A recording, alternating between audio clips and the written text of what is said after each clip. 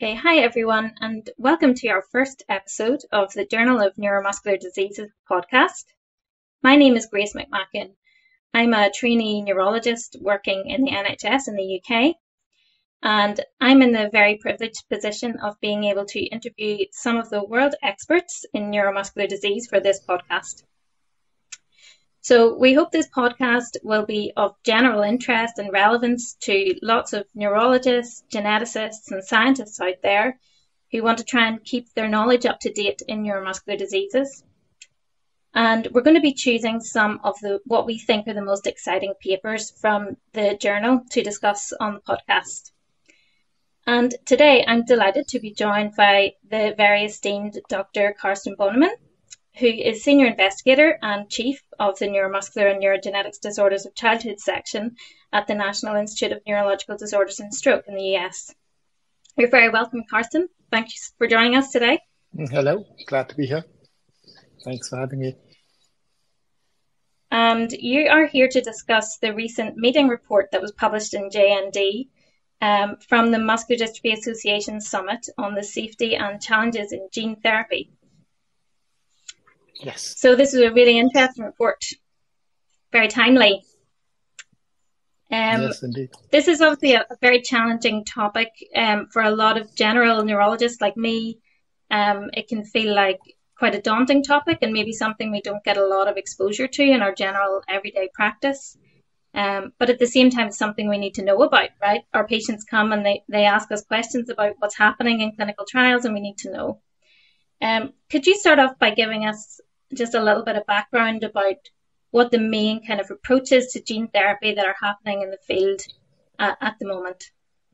Yeah, gene therapy in general, you could um, maybe say it more um, uh, broadly as genetic therapies. So therapies that are that are really directed at the genetic cause of, of a condition. And in, in neuromuscular disease, of course, we have um, both acquired as well as genetic um, uh, conditions. And, the acquired ones are usually uh, immunologically based, so the immune system is uh, acting up and, and causing the disease. So that requires a different approach as opposed to disorders that are caused by genetic variants, pathogenic genetic variants, which are the cause of the disease. Really, a gene is dysfunctional, and that really sets into motion the entire um, disease that we have to reckon with. And the idea um, behind genetic therapies is that the closer you go to where the disease actually starts, its origin, the more your impact will be. And so in genetic disease, that means rather than trying to modify the um, consequences of the disease and what happens in muscle, and uh, we want to go to where the disease starts, where the mutation is, where the genetic origin of the disease is. Now that um, having having said that, it it, it uh, really doesn't mean that our um, therapies that were currently applied to patients to uh, manage them uh, medically uh, are not to be valued. As a matter of fact, they're probably more impactful than anything that we do at the moment in genetic therapy, um, but just just appropriate and and uh, and, and really um, proactive medical management that really remains and, and will be even more so in the field of genetic therapies a, a main a, part of, of treating and, and managing a patient. So a shout out to all medical management specialists in neuromuscular disease. Genetic therapy is not uh, taking that away. It, it, actually makes it more important. But having said that, um, so, so there are various approaches to go after the genetic origin of, of the disease. You could um, you could try to um, modify the gene. Um, so that's uh, gene editing. That's on uh, on vogue at the moment, but still quite preclinical, where you where you really uh, edit the gene and you're trying to um, correct the mutation in the gene. But you could also do um, editing of the the transcript, so the messenger R, the RNA, the readout of the gene. So where the mutation is translated into the messenger RNA before it is uh, made into protein, you could intervene there, and that's the uh, the um, realm of ASO, antisense oligonucleotide therapies, uh, where, for instance, with exon skipping, you can reframe a transcript into Duchenne muscular dystrophy, or uh, in the uh, in the uh, case of nusinersen, you can splice modulate um, the SMN backup copy to make good SMN. Um, so, so those are um, transcript-directed therapies that are editing the transcript to uh, modify it and make it more um, useful to the body, kind of correct the mutation or at least ameliorate the mutation. And then we have also um, uh, therapies where we try to inactivate uh, mutations that are damaging dominant mutations. So that's the case in FSHD or in myotonic dystrophy, where you have a mutation uh, that that is causing a toxic gain of function, a dominant negative effect, where you have to really um, try to get rid of that, um, to inactivate it, to uh, take it out of the system to ameliorate the effect of dis- the disease. And then lastly, and most um, probably advanced, um, because we already have uh, approved therapies for that, is gene replacement. And that um, really is um, where most people think, um, or what most people think about when they hear the term gene therapy, which is uh, viral mediated gene replacement therapy. So what that is, is where you have a, a gene that is just in general dysfunctional. It's not um, working properly or is entirely missing because of the pathogenic variants taking it out. There's no good protein being made from that gene. Uh, here, you're trying to sneak in a replacement copy of it, a processed version of it, a cDNA, a smaller, um, already processed version of the gene. Um, so it, it's not uh, exons and introns, it's really the message spliced together. We call that cDNA, where it can be read directly into protein. And that is um, put under a, a, governing element called a promoter that drives it in, in muscle or nerve, wherever it's uh, needed. And then the trick is to package it into a virus. Uh, and the virus is no longer a viable virus. The uh, virus is just a shell, if you will, of its former self. What we use is the viral envelope uh, to package the replacement gene copy into that, use that viral envelope to infect the body and uh, thereby muscles and nerves wherever it needs to go. And then uh, the envelope would deliver uh, the transgene, the replacement copy of the gene, uh, and deliver it to the cell, but not replicate. So it's a one-time infection essentially, and then the virus goes out of the system, and the replacement copy stays um, in the cell nucleus, uh, where uh, it's needed in the cells of the muscle and nerves, depending on where it's needed. And then off that copy will be um, made a messenger RNA and a protein. And that protein now is the wild type or as close to normal as it can possibly be. Uh, sometimes you have to engineer to package it. We can get to that later. Uh, and then you have basically the good stuff on board, the replacement part on board. And then the cell can work with that and get around the genetic defect. So that's the idea behind um, virally mediated gene replacement therapy. Okay, fantastic. That's a really nice overview of all the, the different approaches. Um, I think the focus of the MDA summit, if I'm right in saying, was the kind of viral mediated gene therapy, which yes, sometimes exactly. interchangeably we use the term kind of gene therapy just to when we say that we're really talking about the, the viral mediated the AAV gene therapy. Um, and am I right in saying that as sort of more clinical trials have been um, been taking place with this types of therapy, there's some safety challenges coming to light, um, and particularly the immunological safety. Is that right? That is exactly right. So the um, the the working force, if you if you will, the kind of the, the package that works the best and where we have the most experience is AAV, which is called adeno-associated virus, and that's a a small little virus um, that occurs in nature in many different versions. It has a, a single-stranded DNA in it, and it likes to infect people, but it doesn't cause disease. So it, um, what it does, it kind of spreads around. It, uh, it uh, infects people and replicates using other viruses to help it. Its genome itself is too small. It doesn't have all the parts it needs to be assembled again as a virus. That's why it's called adeno-associated virus. So, for instance, it comes along with adenovirus, a much bigger virus for the right. They co-infect together, and then AAV, the little guy, uses some of the genetic information of the big guy, the adenovirus, to reassemble itself into another infectious particle. And so um, that's why it's called AAV. And it, it in, in, its own right, alone, without any other infection coming along, it actually doesn't cause disease. So uh, that uh, that really um, is very important because it is uh, giving us a, a, safety margin in viral gene therapy that that's so important. And so what you do in the lab is you um, basically provide everything that's needed to build this envelope in the lab in, in cell culture, the helper genes, the genes of the AAV itself, uh, so that you have all the components to make that envelope, that infectious particle. Uh, but it doesn't have the viral genes in it. It has the transgene, the one that you want to deliver in it uh, you sneak it into the envelope so that now you have an envelope that's infectious, but it doesn't have any viral particles in it that allows to replicate. Um, so it just is, is, a, is a delivery envelope. However, the envelope is a protein structure and uh, a protein structure that looks exactly identical to the actual virus. Um, it just has a different inert uh, in it. And so the immune system sees a viral particle for sure.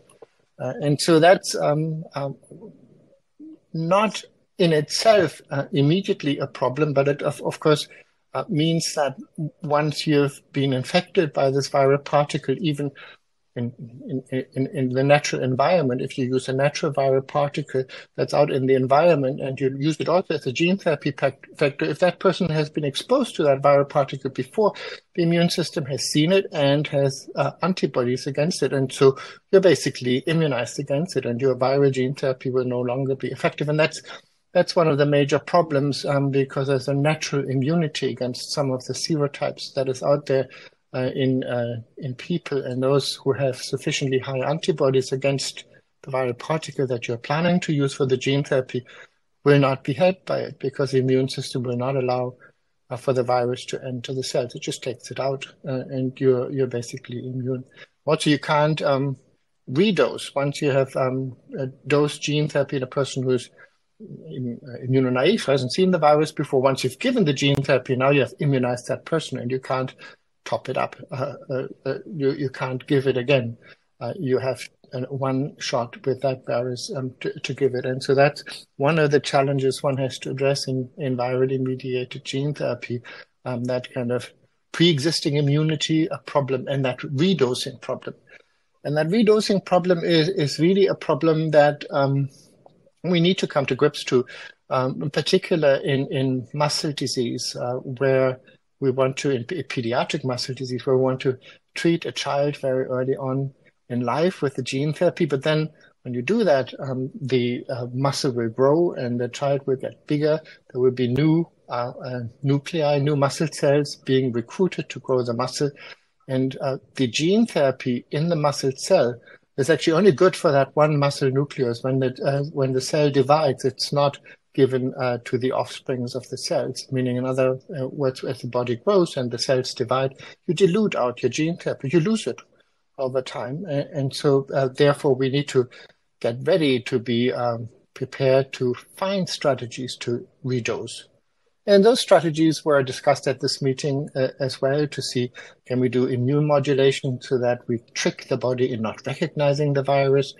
Can we change the viral envelope so that it can sneak around the immune system the next time around? Can we give medications and strategies to suppress the immune system at the time of redosing so that there's no um, immune uh, uh, attack against the virus when it's given again? And all of these are being uh, investigated at the moment. Am I right in this is a something that's a pretty common problem? I mean, is there a level of immune response in almost every patient? Well, yeah. So the um, yes. So to every patient you give a gene therapy will be immune against the same vector of the gene therapy next time around. It just doesn't matter. It is uh, it is really um, a vaccination as it is the gene therapy. So you give the gene therapy, and the gene therapy um, gets in and does its thing, but you are now vaccinated against the vector, against the viral envelope that you've used. Um, so while that doesn't cause any problem uh, in its own right, uh, it is a problem because you can't redose.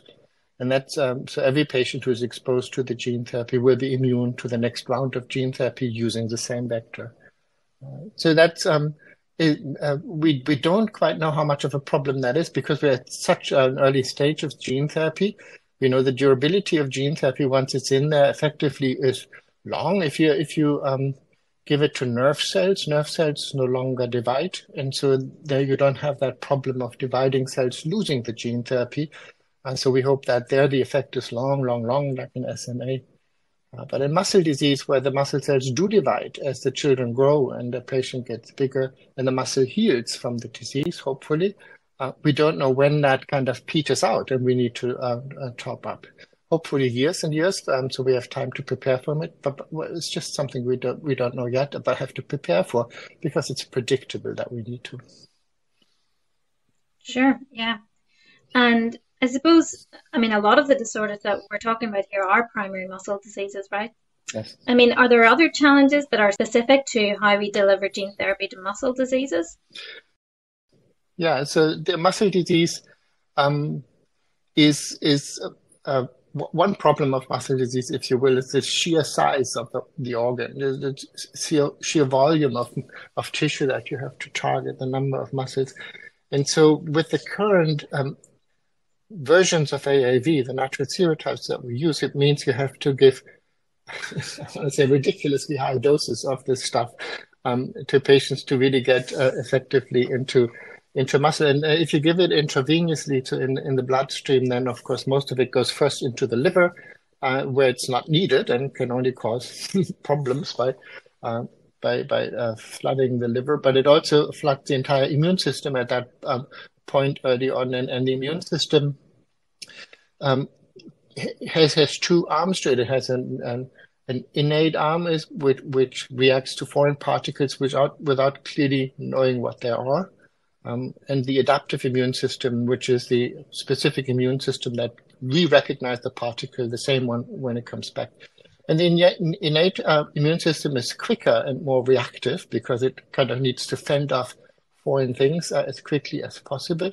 And these very high doses of certain viruses can trigger um, uh, aspects of the innate immune system and also of the um, complement system, which is uh, a system that is part of the uh, innate immune system. And what the complement system can do, it can trigger a cascade of events that leads to um, clotting and uh, uh and a use up of, of, of thrombocytes, little blood platelets, uh, it can lead to um, vascular abnormalities and multi-organ failure. We call that thrombotic microangiopathy, TMA.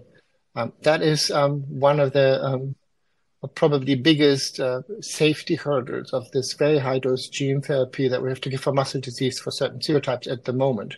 Um, so just by the nature of having to do these high doses, uh, we are risking to trigger this TMA, this thrombotic microangiopathy, uh, which can uh, uh, be quite severe can uh, lead to intensive care and uh, and also in uh, in rare cases to, to, to death if the uh, multi-organ failure cannot be reversed. And so one one uh, way out of that, of course, is to see where can we get away with lower doses um, so that we don't flood the body with these uh, ultra high doses. And, and that's another development of um, capsid engineering that we discussed at the meeting uh, which is to design, to custom design, to um, uh, capsids, to identify capsids, meaning envelopes of the virus that are changed in a way that they home into a muscle much more readily uh, and, uh, and don't uh, get hung up in the liver as much. And so these are myotropic or muscle-specific viral capsids um, that are now being developed by a, a number of different groups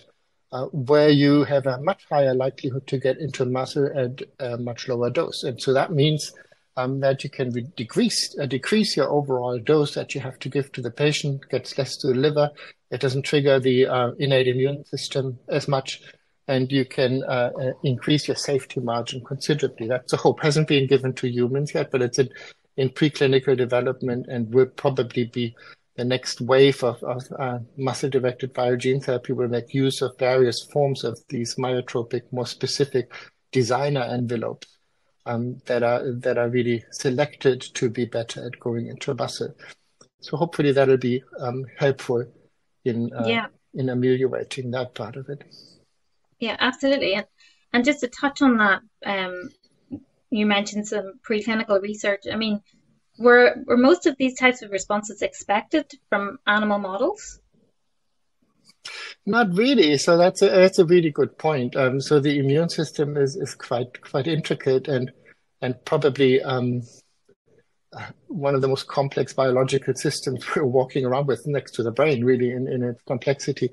Uh, and uh, it is very hard to first of all, fool the immune system, and secondly, to uh, predict the human uh, immune system in sufficient detail to kind of predict these things. And so um, these TMA responses can now be modeled somehow in, in vitro now it, uh, that we know what's going on, but they haven't been predicted in preclinical models, not even in the dog models. You're absolutely right.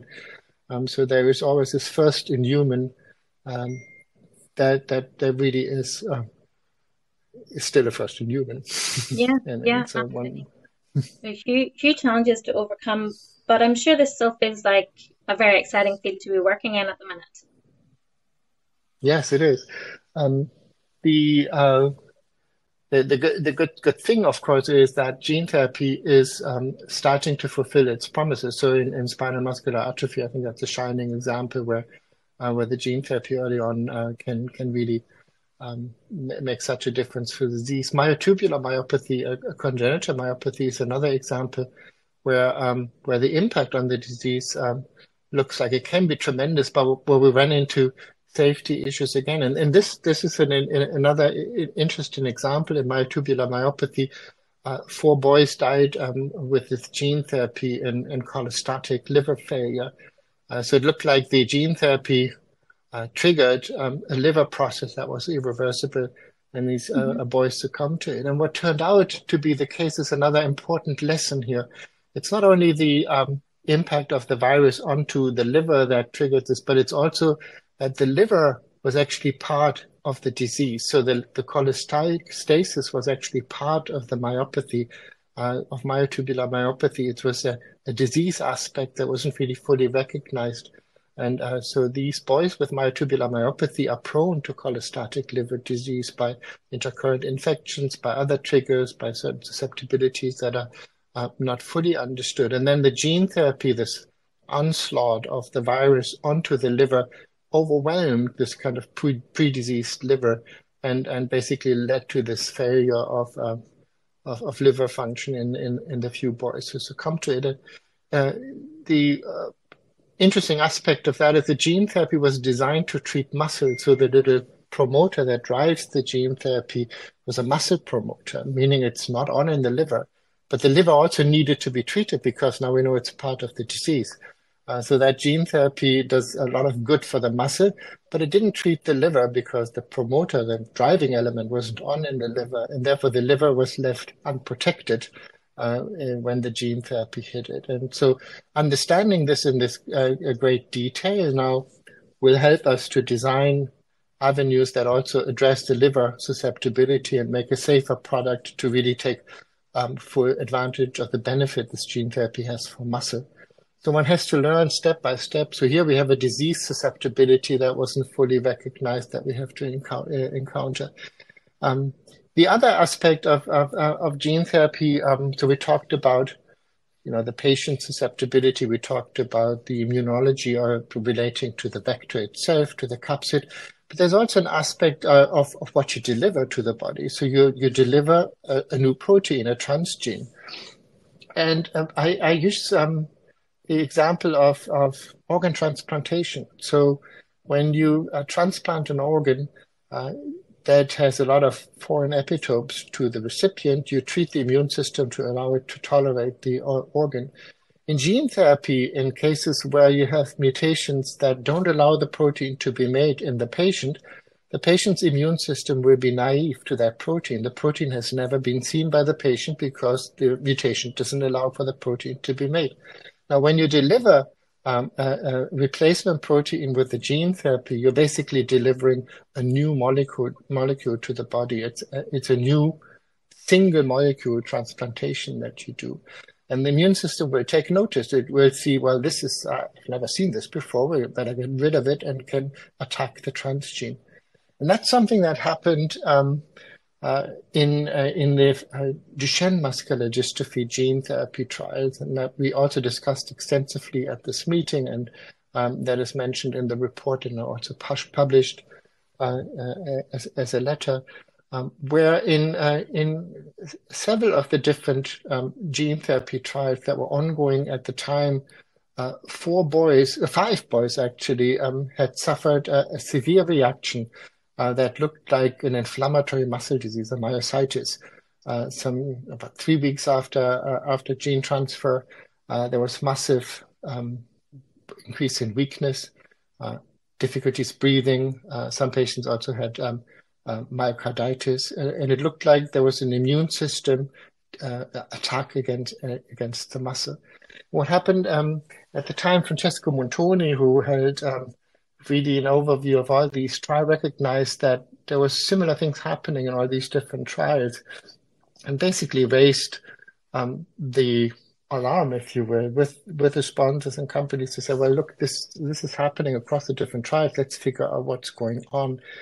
And so uh, he also contacted me as well as the sponsors, and we got together and said, well, how, how about if we come together quickly and compare notes just to try to understand what's happening to these boys? And that uh, was for me very, very encouraging because there was no um, roadblocks. There was no um, pushing back. Everyone said, yes, let's do this immediately. And everyone came together, um, including advisors, no lawyers, as far as I could tell, were involved. You just came together and, uh, and, and looked at what was happening. And what was happening was very um, interesting. So in, in Duchenne muscular dystrophy, gene therapy is complicated by the size of the protein that you have to deliver. Um, so the dystrophin um, messenger RNA and the protein is, is very uh, large and it doesn't fit into AAV because AAV has a, a, packaging capacity limit. It's just a small guy. It's a small virus. So there is a limit what you can package into it. Um, so the dystrophin um, replacement gene in its full length doesn't fit into it. And so what you have to do is, and that's uh, years and years of work, uh, inspired also by patients that people have seen, is to to cut it down, to bring it down in size to a a microdystrophin, a dystrophin that has its working ends and all the relevant parts um, that are needed to do um, a, a, reasonably good job, but it doesn't have the full length of it. So it's not as good as the full length dystrophin, but it's better than nothing. And that can be cut down to a size that fits into into the AAV. And this, these are called microdystrophins. They're basically missing the inner parts of the repetitive structure of the gene, but they maintain the business ends at either end, plus kind of important stuff in the middle that uh, allows it to function. Um, but these business ends, um, they, they are, are, common to all these microdystrophins that are delivered. Uh, so they are proteins. They're kind of peptides that are um, that are part of this microdystrophin. And it turned out that five boys who um, who had this um, adverse event happening had mutations that were deletions, lack of genetic information that corresponded exactly um, to the protein that was delivered with the microdystrophins. So, in other words, they were immunonaive for that part of the microdystrophin. The immune system has never had a chance to learn it, uh, to recognize it, to develop tolerance. And what what happened in these cases is the immune system immediately picked up on it, uh, generated cytotoxic T cells to attack um, this part of the uh, protein and uh, and really attack with it the muscle and, and the heart of these boys. This analysis allowed us to um, to really pinpoint on the most offensive part of the protein that is really uh, causing this and say, well, this is really the culprit. And the lessons from that um, are important because it, uh, for, for one, it allowed to, um, for the time being, to exclude patients who are uh, completely deleted for that part of the microdystrophin, so who are, who are at high risk of, of developing this attack. It also um, allows us to to then um, start thinking about immune modulation protocols akin to organ transplantation, uh, where you can prepare and, uh, and and treat the immune system to not attack and develop tolerance over time. You're really taking your leads and your, your ideas from organ transplantation so that in the end, every um, boy can be treated with these microdystrophins. But it really was, um, was uh, I think, a, a, a, a, learning on the fly while these trials were ongoing um, that allowed to, to really home in and say, well, this is happening here. We, this is what we need to do in the short term, and this is what we do need to do in the long term to really assure, um, uh, first of all, safety, but then also to, to allow for the gene therapy to get to people who have this risk genotype. And so with the approved, currently approved gene therapy uh, product uh, in, in microdystrophin, this, this is still an exclusion criteria. So boys who have this type of deletion cannot be treated even with the approved gene therapy product because of this risk. uh, until it is uh, addressed with better immune uh, treatments. Yeah, I mean, it, it was a really fascinating pathomechanism there. I mean, these were very serious adverse events, weren't they? And I think the thing that struck me about it was, like you say, just how quickly you could advance through and figure that out when you collaborated so closely together and, and just openly shared all that information. Very true. Very true. Very true. Yeah, I hope I hope that was a, and and, I think um, it was recognized by all um, commercial and and academic sponsors that were part of this team, uh, and um, we're planning to kind of continue that spirit for for other, if you will, class effects of gene therapy, where it's not the individual product that is at fault, but the kind of the, the approach itself, the virus, sure. um, the immune system, things that are class effects that we have to address as as a field together. Uh, and because gene therapy is still in its infancy and the numbers of patients for most products is very small, and mm. uh, for of course for, for the SMA gene therapy it's now in the thousands, but but for the others it's still very small. Um, so that we have to kind of pool data and compare data as, as much as we can to figure out these safety issues as they arise in the human application. Uh, and you pointed out um, that it is so hard to predict these in preclinical studies, and it's true. So we have to we have to be um, cognizant and, and alert um, that things will arise only when we move into humans. And when we do that, we need to be um, able to share and communicate almost in real time to be able to anticipate and treat them appropriately. Yeah, yeah, absolutely. I think you've given us a really fantastic background. Um, hopefully, whet lots of people people's appetite to find out more about gene therapy and, and all these amazing new things we're learning about diseases as well as how we react to gene therapy as we as we move these through clinical trials. You can read a lot more in detail if you um, want to check out the paper that's open access in the journal in JND. You, there's some there's lots more information that we haven't touched on here today, Carsten, um, including a lot of information around the ethical issues of gene therapy, which could be a, a, a different podcast in its own right, of course. But I want to thank you again for your time. You've gone through that in the way only a true expert could and made it very accessible to all of us. So thank you so much. And hopefully we'll have you back on the podcast again. Thanks for having me. If you enjoyed the podcast, you can read the full paper and lots more in the Journal of Neuromuscular Diseases. And to keep up to date, you can follow us on social media and subscribe to our newsletter.